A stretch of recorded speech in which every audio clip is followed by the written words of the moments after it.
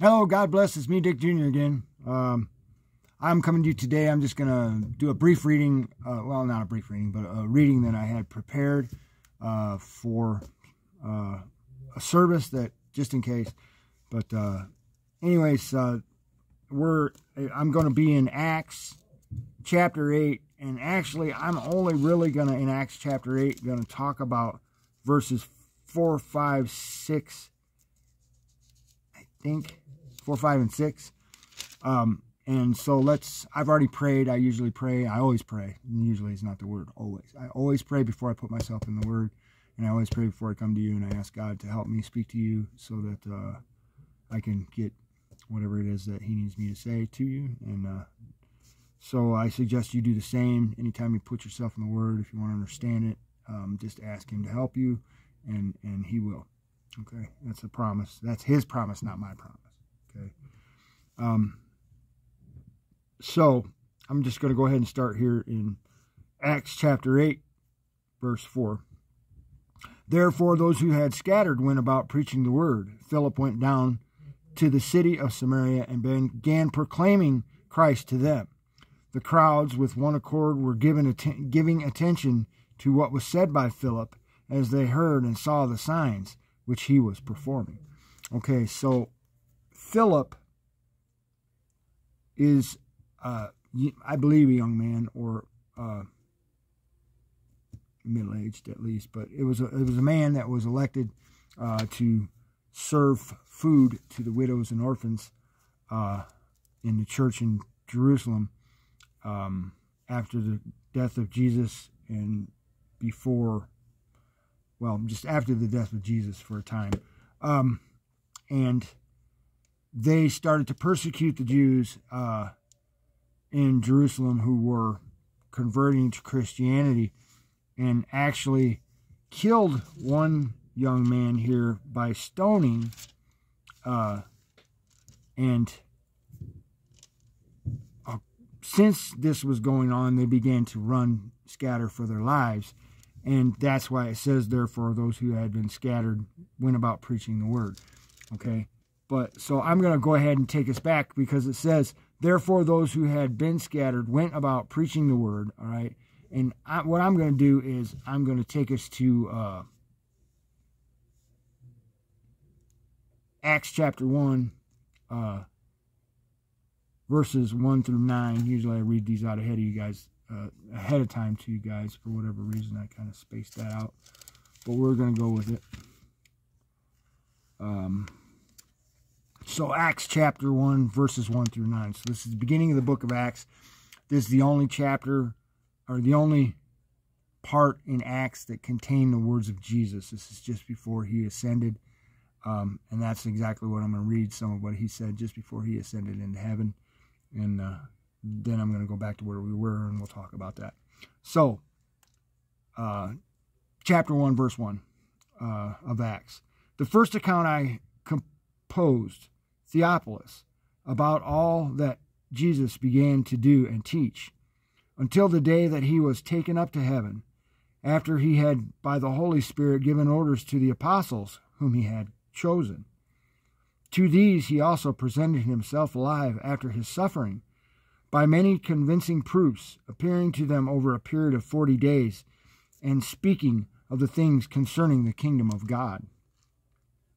Gathering them together, he commanded them not to leave Jerusalem, but to wait for what the Father uh, had promised, which he said, You heard of from me.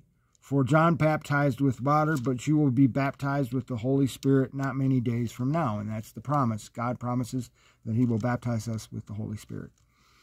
And that's all of us, not just here, all of us to this day.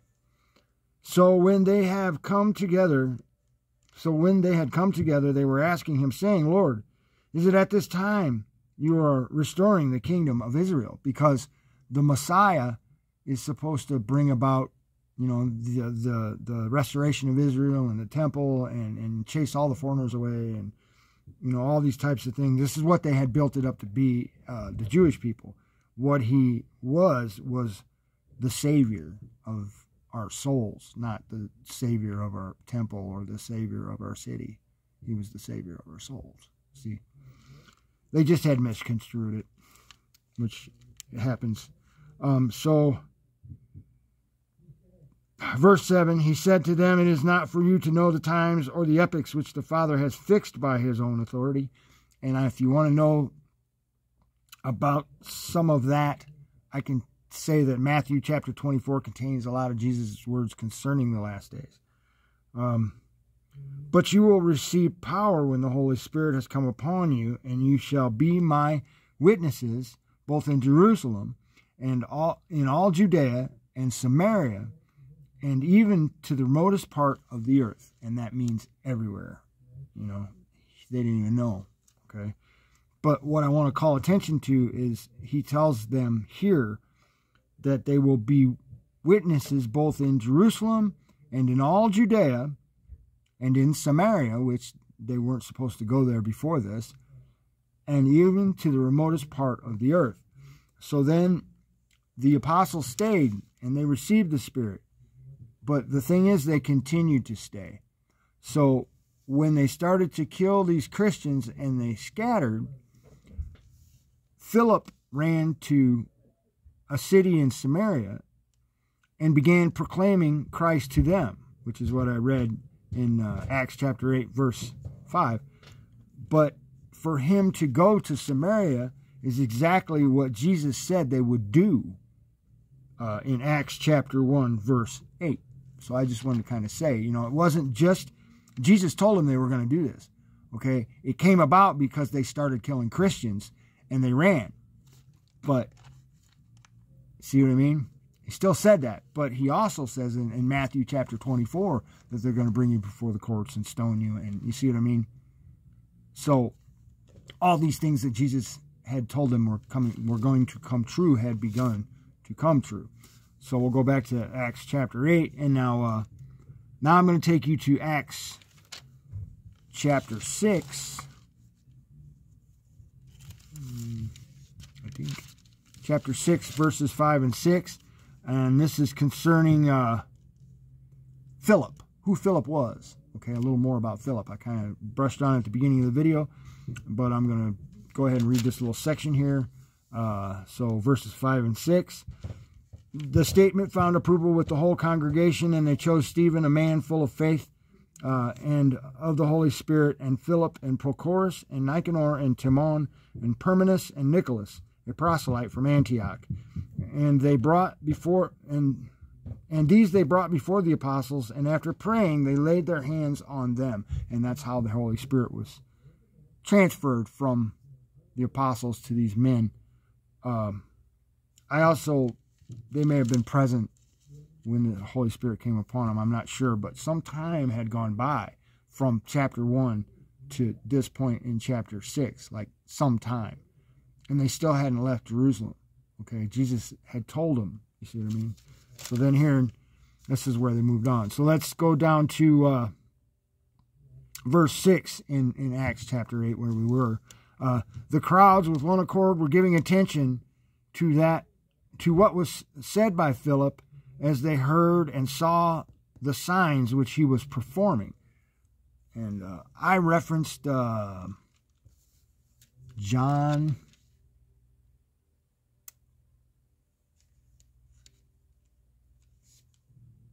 Huh. John chapter uh, 4, verses 35 through 41. So I'll go ahead and go into that one. And then uh, I know there's another reference here written down uh, for uh, Matthew chapter 9, verses 35 through 38. So we'll get there too here in just a second. So John chapter 4, verses 35 through 31, uh, or 30, 41. So uh, these are the words of Jesus uh, here. So it says, Do not say, There are yet four months, uh, and then comes the harvest. Behold, I say to you, Lift up your eyes and look on the fields, that they are white for the harvest. And this is where Jesus was sitting with the Samaritan woman at the well, talking about the Samaritans, okay, to the apostles. They had just come up to him, and he was saying, Behold, I say, to you, lift up your eyes. And, and there were people coming back to him from the city. Okay, this is all part of the story. but he's pointing at these people. Jesus says, as they come out to find out who this man is, he says, Behold, I say to you, lift up your eyes and look on the fields, that they are white for harvest. Okay? So he was telling the apostles here in the book of John that Samaria was ready for harvest because they believed in the same God. And Jacob was their father as well. And Jacob is Israel, if you follow what I'm saying. What had happened was it was all over racism, okay, the hatred between, because Samaria had been, or because that area had been taken over, the Jews lived there, and they had been taken over, and they interbred with the people. Uh, I think they were Sumerians or Syrians, Sumerians. Uh, they had taken over again, and then they intermarried and whatever, you know, and and uh, so they were people who were Jewish Sumerians, but they still believed in the same God and still had a lot of the same traditions, and they believed in the first five books of the Bible the Pentateuch. They were still Jewish per se, but uh, they were not allowed to, to, to participate, and they hated them because of race, basically. So, anyways, uh, let's get on out of that. Already he who reaps is receiving wages and is gathering fruit for life eternal. And that's what he was saying as those people were coming out. Already he who reaps, I'm reaping. Okay? So that he who sows and he who reaps may rejoice together. For in this case, the saying is true one sows and another reaps. I sent you to reap that for which you have not labored. Others have labored, and you have entered into their labor. From that city, many of the Samaritans believed in him, and because of the words of the woman who testified, he told me all the things that I have done. So, when the Samaritans came to Jesus, they were asking him to stay with them and he stayed there two days, which is unheard of for a Jewish person to stay with Samaritans to begin with.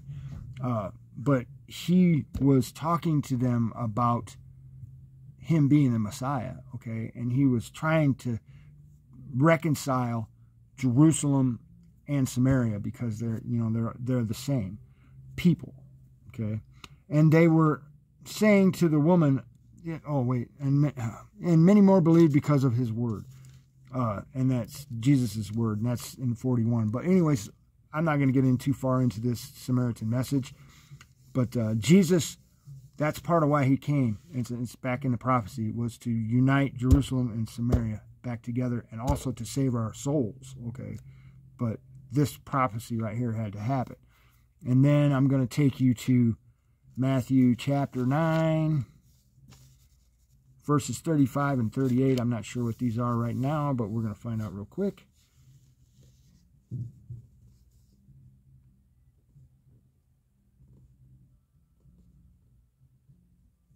Huh. Don't know why I referenced these 35 through 38. Therefore, beseech the Lord of the harvest to send out workers. Oh, it's because uh, um, they were simply doing what he had asked them to do through prayer. Uh, um, in Matthew chapter 9. I'm going to go ahead and read this little section here, but it's uh, Jesus was going through all the cities and villages, teaching in their synagogues and proclaiming the gospel of the kingdom, which is repent, for the kingdom of heaven is at hand, and healing every kind of disease and every kind of sickness. Seeing the people, he felt compassion for them because they were distressed and dispirited like sheep without a shepherd. And that takes us back here you know, uh, many of them were like sheep without a shepherd. That's why he went to. That's why uh, when Philip got to Samaria, they were ready to hear the message. Okay, because Jesus had been there. Jesus had prepared the way. Now Philip was doing the exact same thing that Jesus did when Jesus was gone, because Jesus had given him the power through the Holy Spirit. Anyway, so um, then he said to uh, his disciples, "The harvest is plentiful, but the workers are few." And then he says, "Therefore, beseech the Lord of the harvest to send out workers into the harvest. And Jesus is telling his disciples, his, his apostles actually, to pray for God to send workers, more um, ministers of God to uh, the Samaritans uh, and to the world. And so that's exactly what was going on here uh, by Philip. Uh, they commonly refer to Philip as Philip the evangelist. And uh, one of the other stories that comes up in this here, and I guess I'm just going to go ahead and read it, uh, this story as well. Um, this is a story about uh, an Ethiopian eunuch who is reading the Pentateuch, the first five books of the Bible. Or no, I think it's the whole thing because this is uh, the prophet Isaiah. Anyway, um, so he was reading the the book, the Jewish Jewish book, uh, and uh, anyway, let's just go to it. So when they had solemnly testified and spoken the word of the Lord, they started back to Jerusalem and were preaching the gospel to many villages of the Samaritans. And this is just kind of a little further on after what we had just read. And uh, by an angel of the Lord, uh, but an angel of the Lord spoke to Philip, saying, Get up and go south to the road that descends from Jerusalem to Gaza. So God told him to get up and go a different direction. And uh, this is a desert road. And make note of that. This is a desert road. So they're in the middle of the desert. Okay? So he got up and went. And there was an Ethiopian eunuch, a court official of Candace, queen of the Ethiopians. So he was a very important person who was able to take information back to Ethiopia. Okay? Um, who was in charge of all her treasure, and he had come to Jerusalem to worship. So he was a proselyte, a convert to Judaism, and and so, um, and he was returning and sitting in his chariot and was reading the prophet Isaiah. Then the Spirit said to Philip, Philip, go up and join this chariot. So Philip's walking along down this road, and all of a sudden, this guy comes by, and Philip is told, go, go see what's going on in there. So he goes over to the chariot. Philip ran up and heard him reading Isaiah the prophet and said, Do you understand what you are reading? So Philip automatically uh, recognized the words of the prophet Isaiah because he had been learning from Jesus and the other apostles, of course. And and in the synagogues, you know, they still taught these things in the synagogues. You know, uh, it was some of the other things that they were correct about this part. They taught you the words. They just the, the, the way that they used the words may not have always been correct. I guess would be the way to say it. Philip ran up and heard him reading Isaiah the prophet and said, Do you understand what you are reading? And he said, Well, how could I unless someone guides me? So he was, for whatever reason, unable to understand the, these words. And he invited Philip to come up and sit with him. Now, the passage of scripture which he was reading was this He was led as a sheep to slaughter, and as a lamb before its shearer is silent, so he does not open his mouth. In humiliation, his judgment was taken away. Who will relate his generation? For his life was removed from the earth. The eunuch answered Philip and said, Please tell me of whom does the prophet say this? Of himself or of someone else? Then Philip opened his mouth and he began from this scripture to preach Jesus to him because Jesus was the lamb that was led to slaughter. Jesus was silent all the way to the end. He didn't cuss him and yell at him, or you know, see what I mean. Um, so he started to teach him of Jesus from this passage, um, and it was the Spirit of the Lord because we just heard that the Spirit told him to go here, and the Spirit told him to speak to him. You see where I'm at. Um, as they went along the road, they came to some water, and the eunuch said, Look, water, what prevents me from being baptized. And I wonder where in the desert they found water as they were going along. But miraculously, when he needed to be baptized, there was water in the desert. It doesn't say they came to an oasis or they came to a, it just says there was water. See where I'm at? Okay. And Philip said, If you believe with all your heart, you may and he answered and said, I believe that Jesus Christ is the Son of God. And this is bracketed in my Bible. Uh, that verse is not in early manuscripts, it was added. So, um, some of the newer manuscripts, and I'm talking about manuscripts from 2,000 years ago, not, you know, the ones we've been using for the past 500 years. Um, and he ordered the chariot to stop, and they both went down into the water. Philip as well as the eunuch, and he baptized him. And when they came up out of the water, the Spirit of the Lord snatched Philip away, and the eunuch no longer saw him.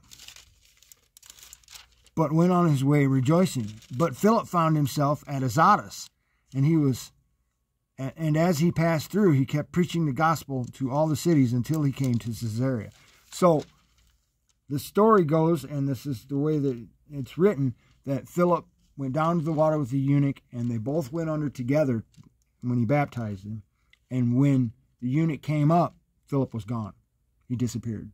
And he came to Azotus. So God plucked Philip out of that water and put him in Azotus so he could go to Caesarea. The reason is because later on people are coming to Caesarea who stay at Philip's house. So God needed him there. Uh, but we'll find that out later on. So that's the reading that I had kind of prepared and all the, the uh, references and stuff um, that I had for that. I just wanted to get it all on video uh, since I had already pretty much prepared it. Um, thanks for listening, and uh, um, God bless.